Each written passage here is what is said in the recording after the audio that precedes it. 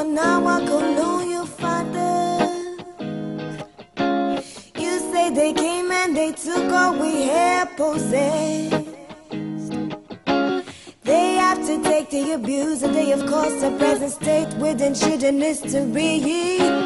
Use our goodness and nourishment in the name of missionary.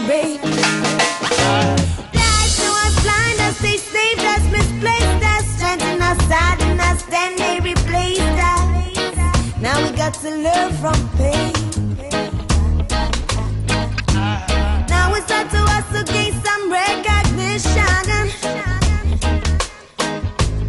If we stop blaming, we could get a better condition.